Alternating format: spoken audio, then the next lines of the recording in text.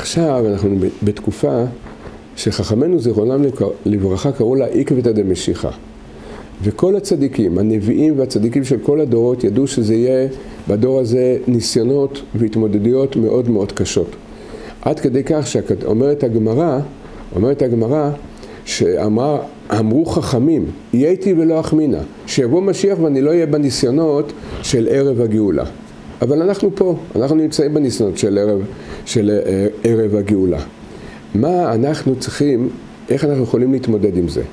אחד ההתמודדויות הקשות, מכיוון שאנחנו נקראים דור של עקבתא דמשיחא הזה, שיש לנו ניסיונות בתוכנו מאוד מאוד קשים.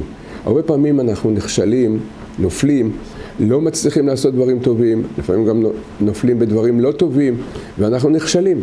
אנחנו צריכים לדעת שהמציאות הזאת היא הזמן והמקום גורם. זאת אומרת, דור העקבתא דמשיחא גורם שאין לנו הרבה כישלונות. איך אנחנו מתמודדים עם זה כדי שלא ניפול בדעתנו? אומר רבי נחמן, על ידי שאדם מגלה לאדם את רצונותיו הטובים.